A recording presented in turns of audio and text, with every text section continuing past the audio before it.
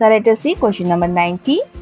So how many triangles are there in the figure below? So here figure is given. So this figure is what? Star. So here from the star we have to find out how many triangles are there.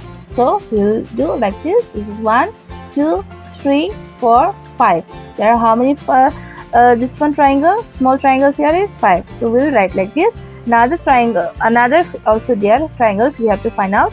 So first of all, this is the this is also a triangle. So we will draw here okay? Because it is difficult to it, we will draw here like this okay? This is number six okay? This is number five small one is number five i have written here. Number six and seven is this one. Here like this. Seven okay? And eight is this one. This one here. So this is 8 okay and 9 is this one. This this one okay? This is 9 and 10 is which one? 10 is this one.